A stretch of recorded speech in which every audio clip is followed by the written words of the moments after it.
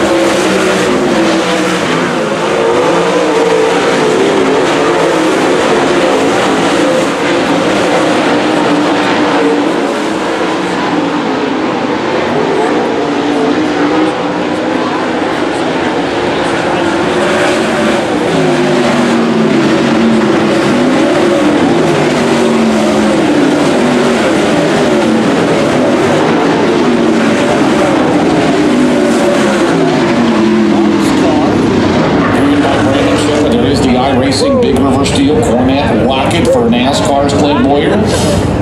Has to go to the scales first, and Bob, he's on the front row tonight alongside.